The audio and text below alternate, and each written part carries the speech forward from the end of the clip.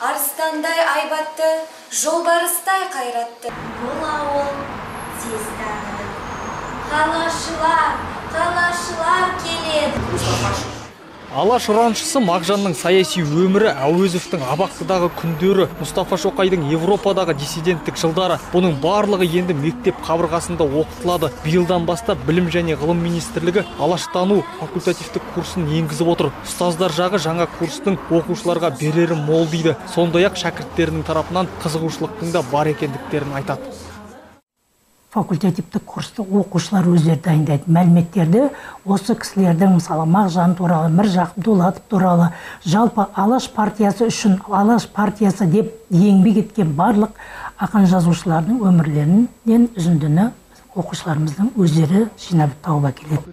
Тарихшы бейбіт қойшыбай үшін білім саласындағы бұл өзгеріс жақсы жаңалық. Азаттық жолында құрбан болған алаш қайраткерлері барлық құрметке лайық дейді ол. Тек кеңес кезіндегідей емес алаш тарихы нақты деректермен оқытылса екен дейді. Сонымен қатар ұлттық рух ұйқыда жатқан кезде дәл қазір алаштану пән болса да артық емес деген пікірде.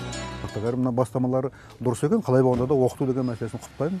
Жалпы енгізу керек. Бірақ бұл енді бір өтпелі кезең болар іс жүзінде алаштану а, мектептік бағдарламаға кәдімгі тұрақты бағдарлама факультатив емес міндетті түрде оқылатын бағдарламаға кіру керек деп ойлаймын. Пән ретінде? Пән ретінде ену керек иә.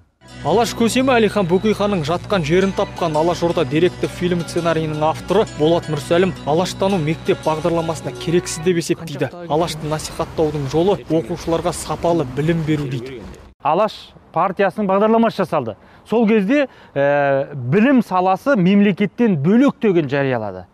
Тура қазіргі зайырлы мемлекетте дін мемлекеттен бөлек дейді ғой. Сол принциппен яғни әрбір университет әрбір оқу орны өзінің оқытушылық құрамы өзі нені оқытамын қалай оқытамын оны өзі шешетін не болды иә? Сол сияқты. Ал бізде мысалға марат тәжин айтты тарихты тереңдетіп оқытайық деп еді міне осы алаштануды айтып жатыр.